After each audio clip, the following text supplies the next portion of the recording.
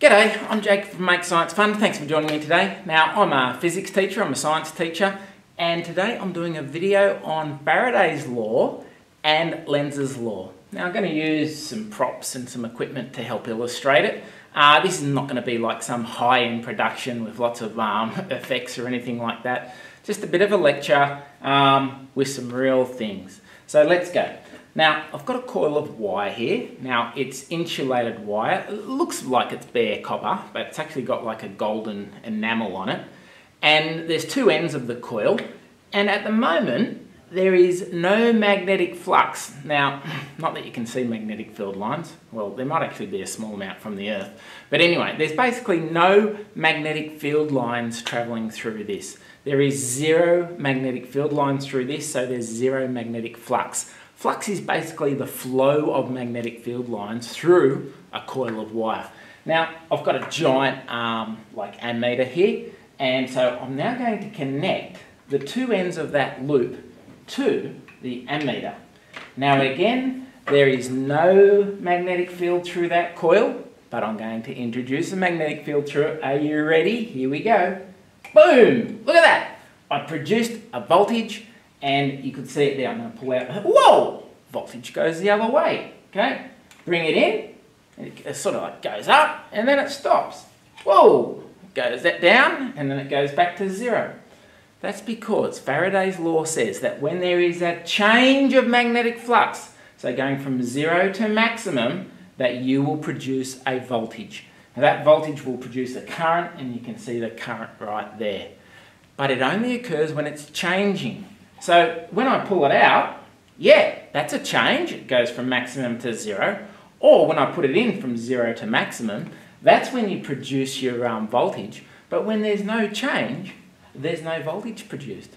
So if I wanted to produce a continuous voltage, I'd have to like move it in and out like that. And basically, this is how most of the world's electricity is produced, apart from solar panels, of course, or photovoltaic cells.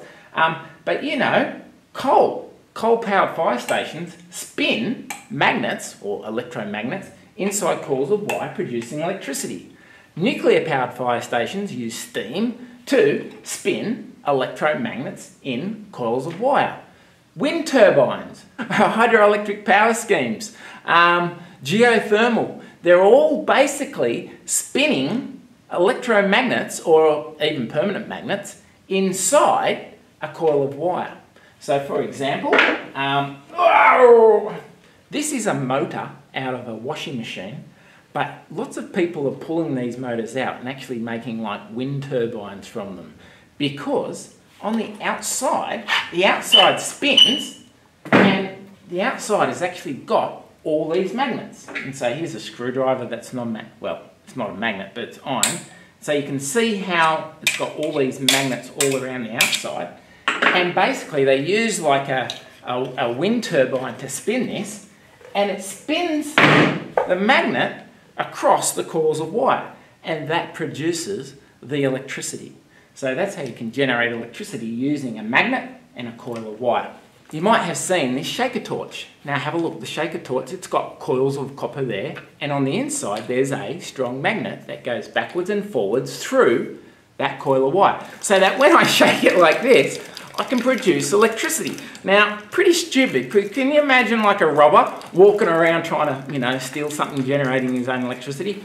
Pretty dumb. But anyway, that is due to Faraday's law. At the moment, there is no magnetic field through that coil of wire. The magnet goes through and it generates a voltage which produces a current which charges up the little capacitors which then make the light go on. All right, now, you've probably never seen one of these before. Let me just, whoa, look at that. you might have seen one of these. You'll see this on like Microsoft Office in the save icon because I'm pretty old school and this used to be one of the discs. Um, this was like a, think it was like a three and a quarter disc or something like that that used to go into your machine. And this disc here is basically made out of the same sort of magnetic tape ribbon that this is. This has got like tiny little iron particles on it and you know it's what's called a cassette tape and basically it goes in the machine in the cassette recorder and this tape's got tiny little magnetic particles on it and it's got a reader here with a coil of wire. And as those magnetic particles go past that reader, it produces little electric currents, which are then um, decoded into the music or the sound, something like that. Um, magnetic ribbon. So you always wanted to make sure that you didn't put a magnet near these. Oh, look at that. It is magnetic ribbon. I've never actually done that before. Wow. Look, wow. Oh, look at that. It actually, it, I didn't know that. Look at that. It is magnetic ribbon. I've learnt something new today. Thank you so much. Um, that is, woohoo, that is awesome. Magnetic ribbon. Okay, that's how you can wipe your magnetic ribbon. Oh, so motors, yeah. Now motors have got magnets in them and coils of wire. So if I put a bit of electricity here, the thing will spin. Um, I've got a DC motor here, but this DC motor is actually set up that I turn the handle and it spins, it spins the coil of wire in the magnets. Now, spinning the coil of wire in the magnets, that will change the flux through the coil of wire and it will generate a voltage. So now I'm going to connect, okay, I'm going to connect one motor to the other motor. And I'm going to use one motor as a generator. So let's see what happens. Attach that to the positive terminal. Attach that to the negative terminal. And hold it like that. And let's turn this handle. Look at that. Look at that. I'm generating electricity. Okay, I'm generating electricity. And if I go the other way, I can make it go the other way. I'm generating electricity by basically spinning a coil of wire inside a magnetic field. Okay, great. Moving on.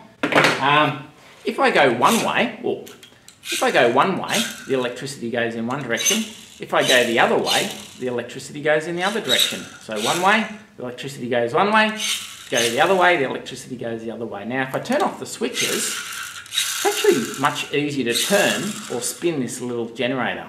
So I put the power back on, it actually takes a fair bit of effort. Now, that's because of Lenz's law, and we're going to we're going to come across Lenz's law in a minute or two. Okay, so just relax, and um, we'll get to Lenz's law.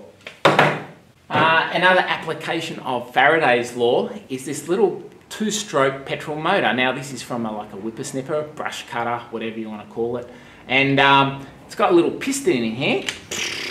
A little piston goes up and down, and fuel goes in, and there's a spark plug there's a spark plug that fires right at the right time to spark the fuel to send the piston down, right? But have you ever wondered what actually causes the spark to spark at the right time? Faraday's law. Have a look over here on this uh, rotating shaft. Um, and this is actually like a bit of a flywheel. It's got a bit of a weight on it. Um, but look at this. Look at this. If I feel with the... Whoa! Oh, see that? There is a magnet on the flywheel. Only part of it though, there's no magnetism there. There's a magnet there. Up here is like the pickup coil. It's got a coil of wire and have a look. As the magnet goes across it, it changes the magnetic field in that coil of wire and that generates a voltage which produces a spark, okay, produces a spark, which causes the spark in the spark plug to, to fire that piston down. It goes around and then it fires it again. It goes around, fires it again, goes around. And that's how it, that's how it generates the spark at right the right time. This is like a, a little model generator, okay? Um, it's got a coil of wire.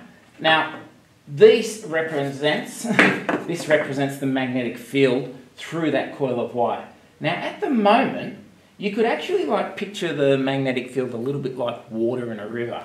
Now, when the, when the coil is horizontal like that, there's basically no water or no magnetic field lines going through it. There's zero magnetic flux. So if I spin it now, all of a sudden I go from zero magnetic flux up to here, maximum magnetic flux, because all those field lines are now coming through this coil of wire. And that will generate a voltage which will produce a current. And so how do I generate an ongoing voltage? Simply by spinning my coil of wire in the magnetic field. Another way I could do it if I wanted to is actually bring the magnets, okay, like this. I could actually go no magnets, maximum magnetic field. No magnetic flux, maximum magnetic flux. And generate electricity like that. but I actually find it a lot easier to actually spin my generator like so. Now, I did promise you Lenz's law, and so I'm going to bring you Lenz's law. Um, Lenz's law basically says that when you induce a current in a coil of wire or something like that, the induced current will produce magnetic fields which oppose the change that caused it. So here I've got basically lots and lots of metal coils, like it's a solid aluminium tube, as you could say that's infinite magnetic coils. And um, what I'm gonna, I've got a really strong neodymium magnet, and I'm sure you've seen this before. But when I release the magnet at the top, if you haven't seen it, you might expect it to like just drop, drop through. But let's, oh, ready, set, drop. Takes time. And then, whoa, and then it drops out. Wow, let's time how long it takes. One and two and three and four. It takes like four seconds to drop through. Why is that? That's because at the moment there's no magnetic flux through here, not that you can see it. And as soon as I introduce the magnet, now there's a magnetic flux. There's a change in magnetic flux, and so Faraday's law says that that change in magnetic flux will produce a voltage, which will produce a current. So you actually get current flowing in this tube, okay? Now it's probably flowing in the form of what are called eddy currents, but that's beside the point, okay? But you've got basically electricity flowing. Now when you've got electricity flowing, that produces a magnetic field in itself. And the magnetic field produced opposes the change that caused it. And so that's what slows this magnet down. Now, this is actually a conservation of energy because when you drop the magnet through, those currents that produce, when you drop the magnet through, those currents that are produced actually produce heat. Now, that heat is a form of energy. Where does it come from? Well, it actually comes from the potential energy of the falling magnet. It actually takes effort to push this magnet through. If, if those currents actually produce magnetic fields that attracted it, well, not only would that accelerate this, but it would also generate heat. And so there'd be like energy coming from somewhere, who knows where.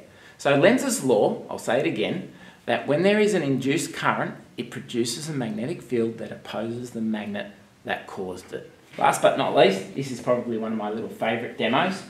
I've got a very strong magnet here, very strong magnet out of a hard disk drive and a piece of aluminium.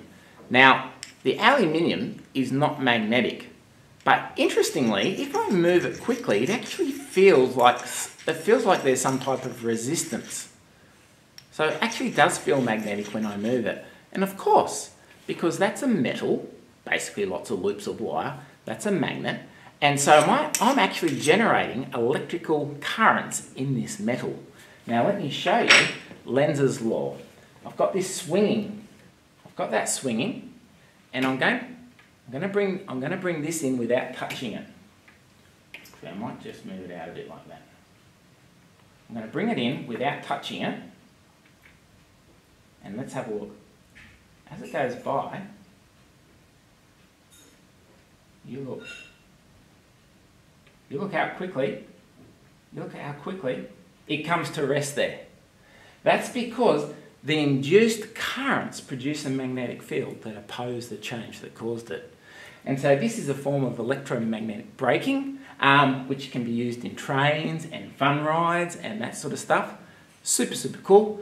But basically, that's Faraday's law and Lenz's law. So thanks heaps for joining me today. I'm Jake from Make Science Fun. Uh, if you've enjoyed the video, I found it helpful, please subscribe, and uh, I'm sure I'll catch you again soon. Bye for now.